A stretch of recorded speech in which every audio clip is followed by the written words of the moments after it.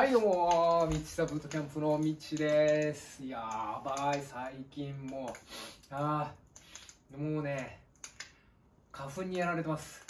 もう花粉症やばいっすよ。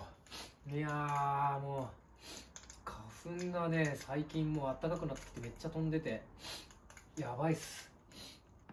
ああいや今日はですねえええー、面白い新商品を見つけましたんでそれを試したいと思います。はい。みつかんさんから出てます。はい。これエスニックしゃぶしゃぶ。ベトナムフォー風やばいでしょ？これやばいでしょ？もうねこういうの待ってた。うん。こういう新製品。もうちょっとワクワクしてきますよねこれね。やばいやばい。食欲そそる癖になる味わい。締めや春締めは春雨やフォーがおすすめ。えこんなちょっとねえ。なかなか珍しくないですか？こんなの。こういうなんか挑戦的なやつ。すごいちょっと試してみたくなりますよね。いやいやいやいや。なんとアジアには魅力的な鍋料理がたくさんあります。本商品はベトナムで親しまれているフォーが、うん、かっこ鶏の出汁を効かせたスープ風のしゃぶしゃぶを家族でも楽しまれ楽しめる味わいに仕上げました。なるほど。やばいですね。エスニックしゃぶしゃぶ。えー、ちょっとね食べたことないですから。え。ー、まずこの裏にね書かれてます。この通りにね、うん、ちょっと作ってみたいと思います。うん、材料は、えー、豚肉しゃぶしゃぶ用、レタス、万能ネギ、エリンギ、しめじ、水菜、厚揚げ、お厚揚げ入れるとミニトマト。えー、お好みでパクチー、セロリを入れても美味しく召し上がれますと。へえー、すごい。ちょっと興味津々ですよ。もうこういうの待ってましたね。もうちょっと楽しみしかない。よし。早速作りますよ。ん。あもうごめんなさいね。もう鼻水が止まらなくて。よし。えー、本品をよく振ります。鍋に入れて沸騰させます。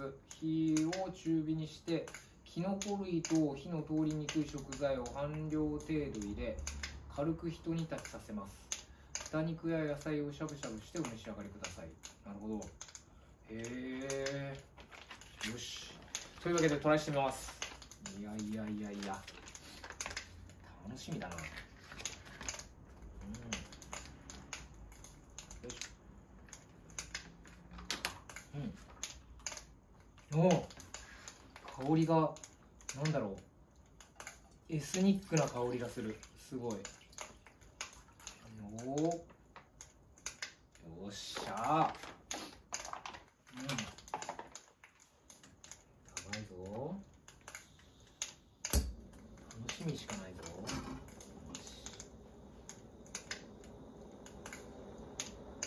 はいということでキノコ類と火の通りにくい食材を半量程度入れ軽くひと煮立ちさせますなるほど。はい。というわけでですね。はい。食材じゃん。でーん。豚肉。はい。豚肉とでえー、な後ろの方にちょっとですね書いてありました。この、えー、材料の方を用意しましたよ。レタスちゃんと、えー、水菜と、えー、エリンギ、しめじ、プチトマト、あと、えー、厚揚げ。はい、これ用意しました。えー、そう、これはもう楽しみでしかないですね。楽しみ、楽しみ。よいしょ。じゃあ、きのこから先に入れていくということで。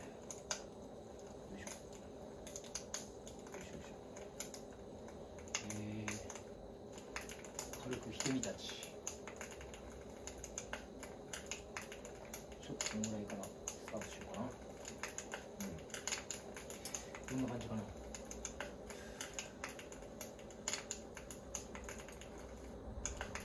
凍したら野菜やお肉を入れてしゃぶしゃぶ。なるほど。へえ。うん。うん。えうん。へえ。あんまりこう食べないんですよね。このこうこういうなんでしょう。ベトナムフォー風みたいな。そんなあんまり食べたことないんで楽しみです。なんだろう。うーん魚醤ナンプラーが入ってるんですね。ナンプラー醤油鶏ガラだしニンニクポークエキス。へえ香辛料。確かに香辛料は。うん。なんかうん。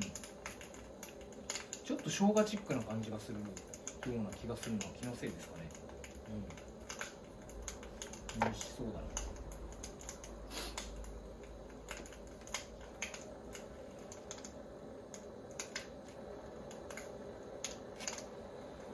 花粉が本当にすごいですね花粉症。もう鼻水が止まらなくてやばいです、うん、あのね東京に来るまではそういうことはなかったと思うんですけど東京に来てからかななんかえらいくしゃみ鼻水が出るようになったような気がしますね。うん。でもまあなんか花粉症とかってなんでしょう。こうコップに水がこう入れてってこうこうどんどんどんどんこう体勢がこう崩れていってこうね水がこうこぼれ落ちるみたいなタイミングでこうなるみたいなそういうことを聞いたことあるんですけどそのタイミングが東京に来た時だったかな。なんかもう東京に来てからのような気がするんですよね。すごいこう鼻水が花粉症になったのは僕のリミットがこうあの崩れたのがそのタイミングだったんだと思うんですけどね、うん、いやー。まあそうだぞ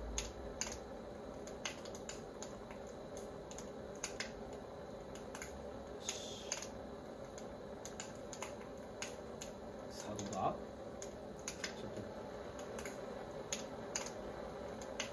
と鍋っていうかしゃぶしゃぶっていうところがねあんまりしゃぶしゃぶそんなにそんなにこうしゃぶしゃぶやろうっていう感じじゃないんでちょっと楽しみですねよしさあどんな感じなのかなお煮立ってきましたよはいさあきのこちゃんを入れたスープが煮立ってきましたよちょっと中火ぐらいにしてさあじゃあちょっといただいていきましょうねはいまずは豚肉を。えい。しゃぶしゃぶ。しゃぶしゃぶ。あ危ない。危ない危ない。よいしょ。しゃぶしゃぶしゃぶしゃぶ。うわ焚き火が。はい。じゃあいただきます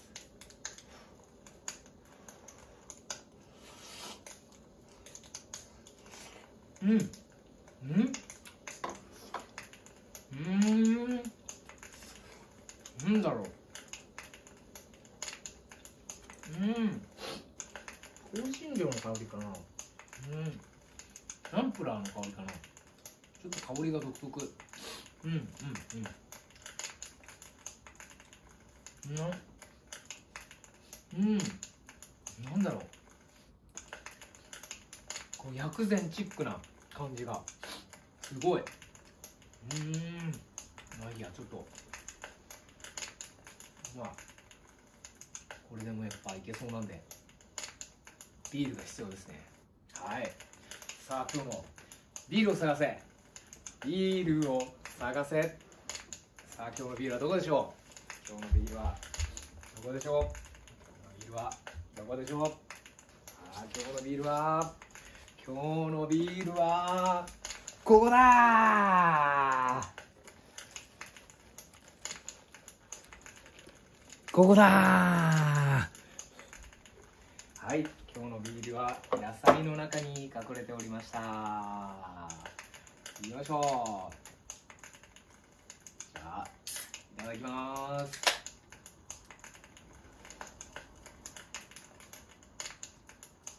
あー早速いろいろと入れていきたいと思いますけども。レタスなんですね。俺白菜とかかなとかって思ったんですけどレタスなんです。でまあ裏に書かれてるのはねおレタスなんでプチトマト。とかも入れていきましょう。とあと厚揚げ。厚揚げ入れたら美味しそうですよね。はい。じゃああとは水菜。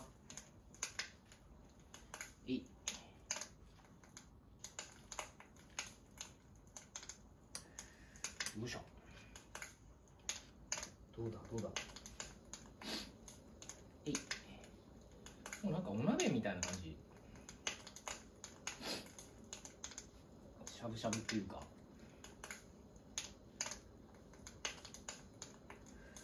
おおじゃあレタスも一緒に。いただきます。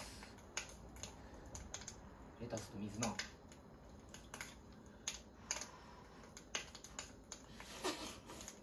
うまっうんうん。うん。うん。えー、なんだろうこれ。うん。すごい不思議な味。薬膳みたいな。うん。なんて言ったらいいんだろう。うん。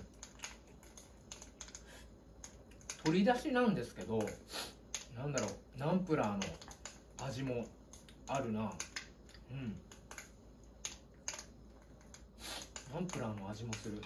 すごい。うん。うんうんうんうん。すごい。うん。なん？フォーなんだろうベトナムフォー風フォーをそんなに食べたことがないからだろうがうん。ああうん。あのね水菜を水菜を食べるとなんか水菜がねちょっとパクチーみたいな感じのうん。感覚になるのかな？なんだろう。うん。ちょっとこの水菜のシャキシャキ感がうん。パクチーっぽい感じに感じれるような気がしますよ。うん。こういうエスニック系が好きな人はすごいす。癖になるのかもしれないな。うんうん。面白い味。うまいね。うん。なんだろう。うでも新しい感じ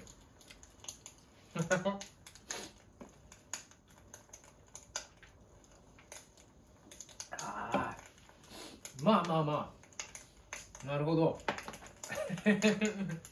うん。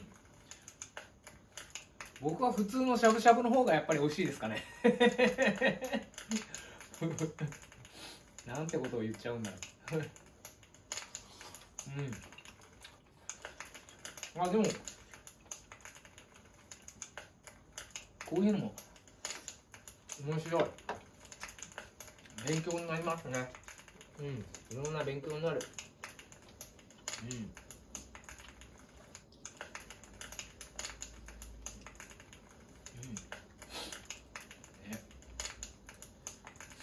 ごいっすよね。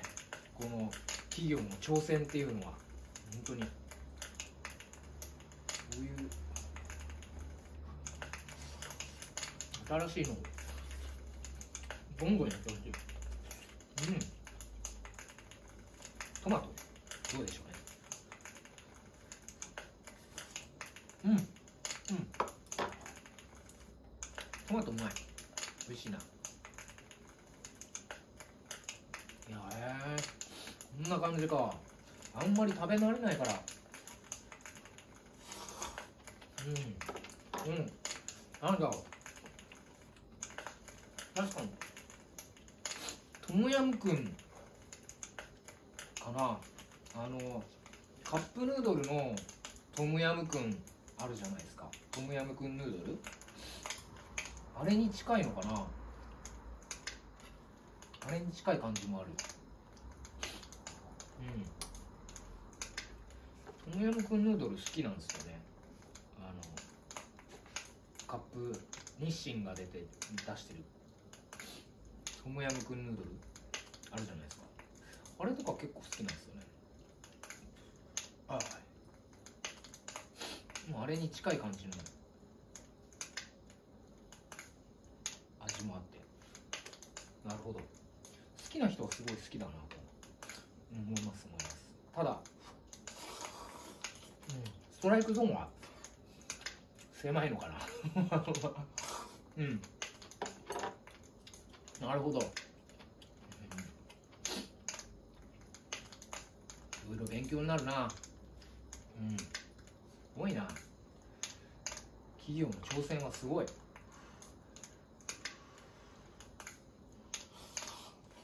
うんね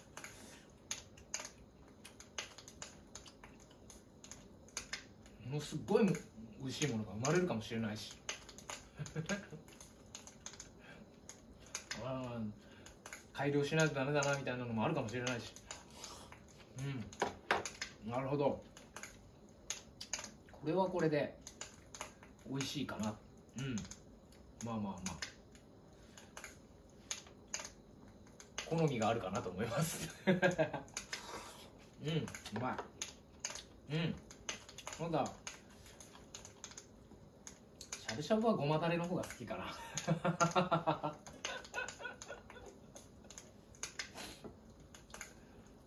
ね。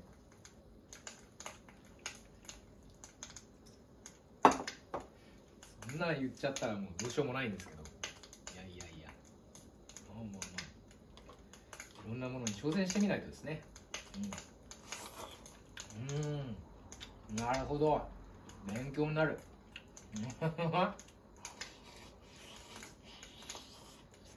うん。うん。ちょっと後からねピリッとする。うん。ちょっと後々ピリッとする感じ。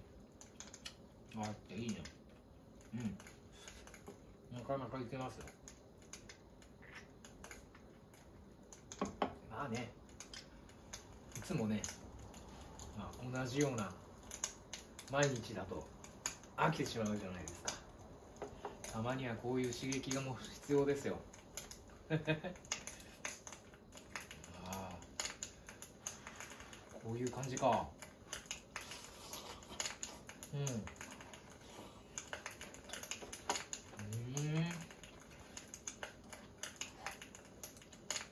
レタスをねあでも白菜でもいいんじゃないかな白菜でも試してみたらよかったかもなちょっと今度試してみよううん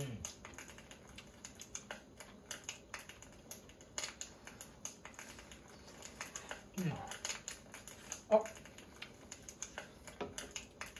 エリンギ美味しい。スープをしみしみになってエリンギ美味しいですね。うん。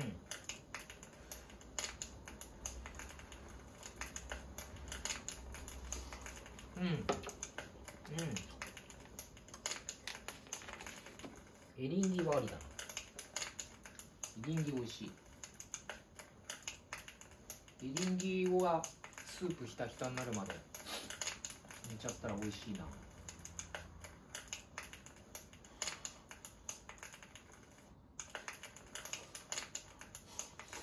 うんうんうん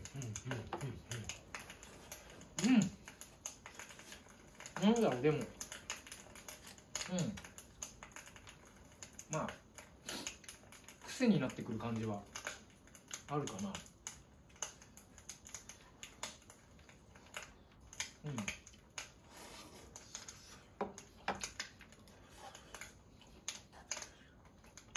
うんうんうんうんなんかこうアレンジかけるとまた良さそうな勉強になりますうん厚揚げおいしい厚揚げいいな鍋に厚揚げとかっていいですよね。美味しい。うん。うん、全部入れちゃおう。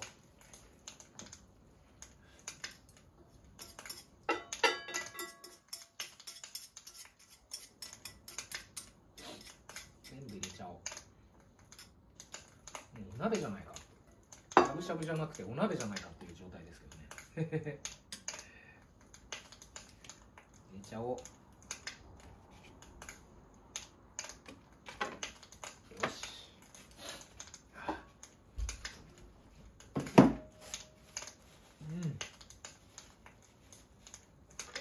うんいろいろこうね具材のお出汁がね出たのもスープもいいんじゃないでしょうか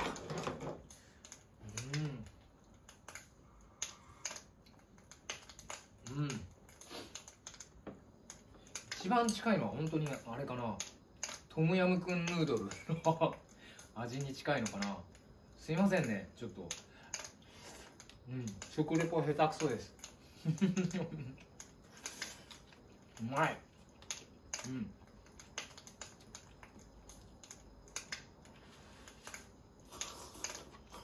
うんうんうんうん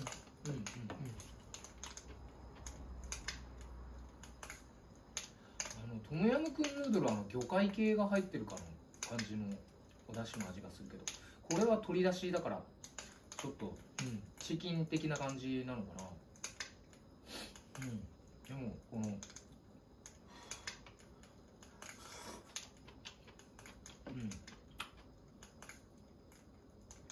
薬膳チックな感じなのがすごい。パンチがありますね。うんうん。うん。うん。うん。こういうエスニック系好きな人だったらすごいいいかもしれないです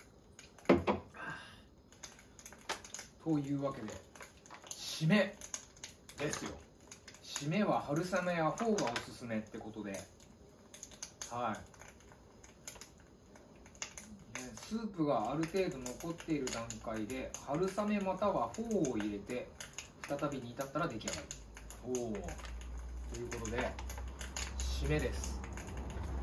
締めでねそんなフォーなんてまいばすけっとにはないわけですよ。えまあまあそうなんですけどあのおしゃれショップおしゃれスーパー成城石井に行ったらフォーありましたんでせっかくだからねフォーで食べたいと思いますよ。ちょっとねなんかこう小玉サイズのやつ。えい。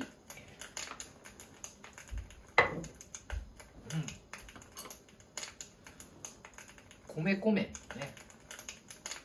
うん麺だと春雨も米からできてるのかな。だから同じような感じになるっていうことなんでしょうけどね。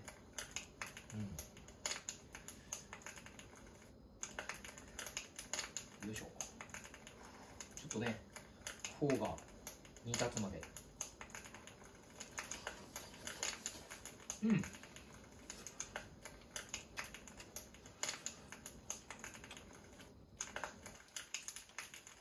待ちたいと思うなうん厚揚げとねエリンギが美味しい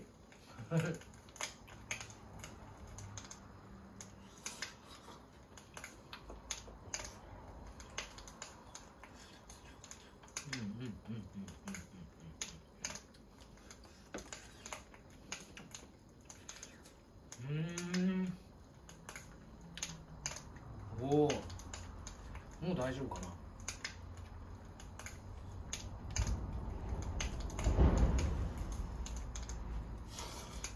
うん。なるほど。おうん。おいしいああこれは。うん。なんだろう。あんまり。食べたことないから。あれですけど。なんだろう。あの。マロニーの平麺バージョンみたいな。うまい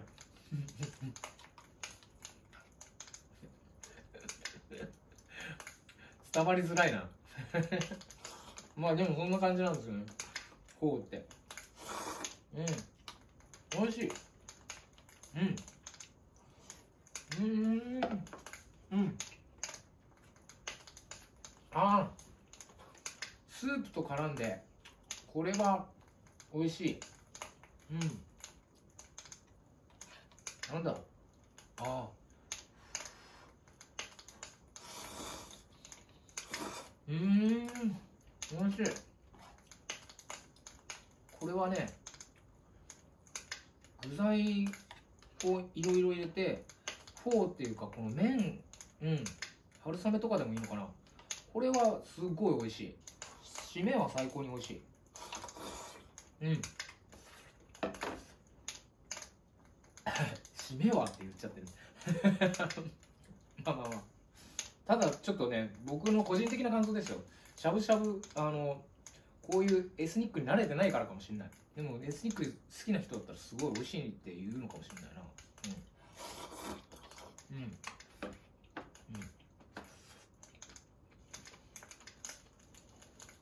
ただねこのね締めのフォーは美味しい。超うまい。うん。美味しいです。こういうのもありだね。へえフォーってあんま食べたことなかったんですけど美味しいな。うん。うん。本当にもう。超薄平打ちうどんみたいな感じのやつですげえうまい美味しいですね。へえうんうんうんうん。あでも勉強になるなうん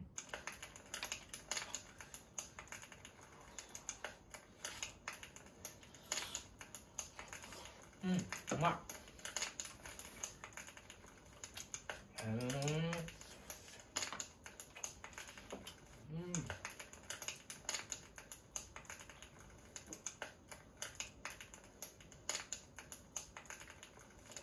ああなんだろう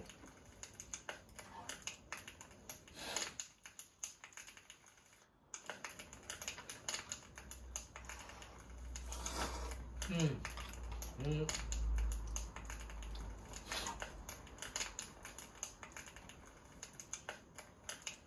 フォーはね癖になっちゃう感じ。美味しいですよ。うんうん。うん。なるほど。これはいい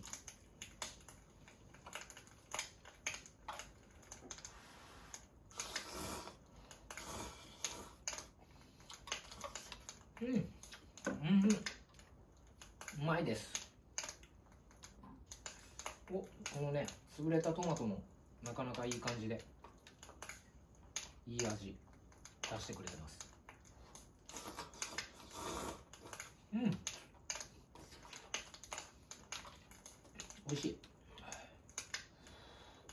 うん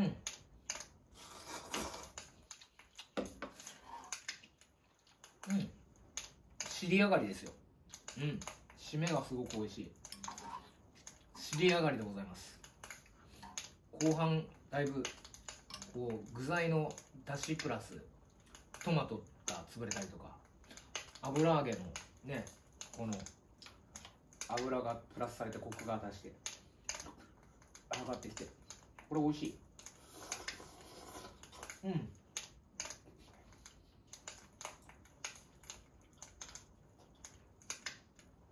後半尻上がりな感じです。うまい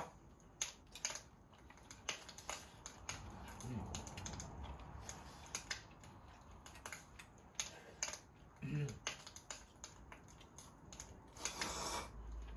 うんフォーとかもっと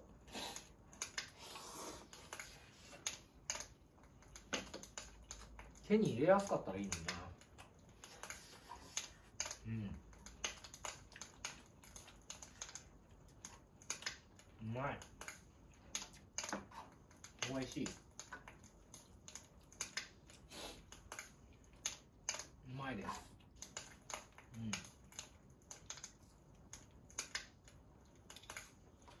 締めの方がねすごい美味しい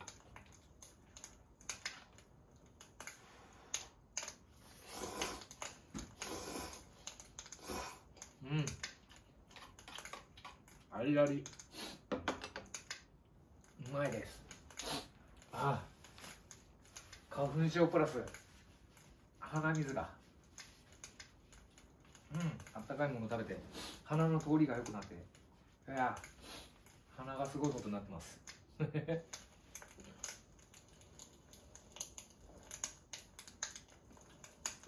くーああいいですねうんこういう時にこうやっぱりシンハービールみたいな飲まないといけないですね。うん、う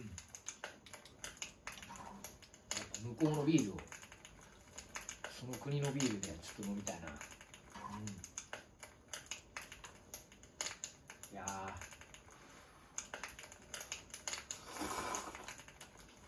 ーもうタイとかそういうの行ってみたいな。うん。あんまり行ったことないんで。行ってみたいですね。うん。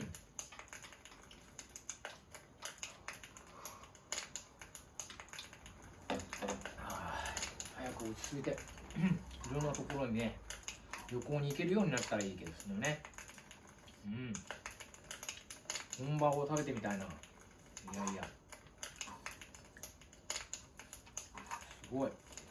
でも勉強になりました。うん。新発売の商品ってね勉強になりますよ。うん。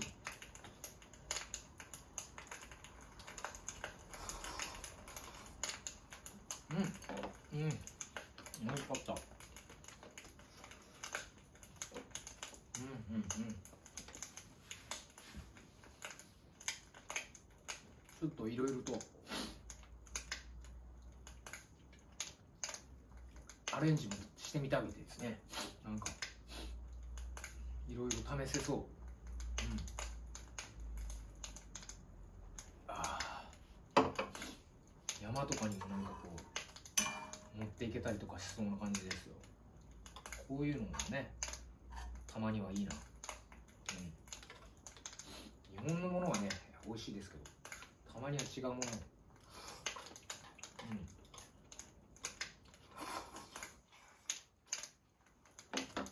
食べるの勉強になります。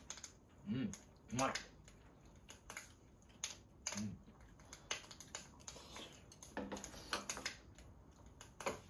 なるほど。いや勉強になりました。うん。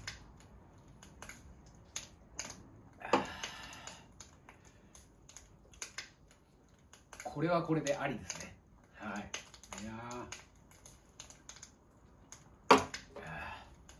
ちょっと皆さんも経験してみるのはいかがじゃないですか。ええ。なかなか。うん。台風系が好きな人には向いてるかもしれません。うん。ぜひ皆さんも試してみてください。ミッチサブートキャンプのミッチでした。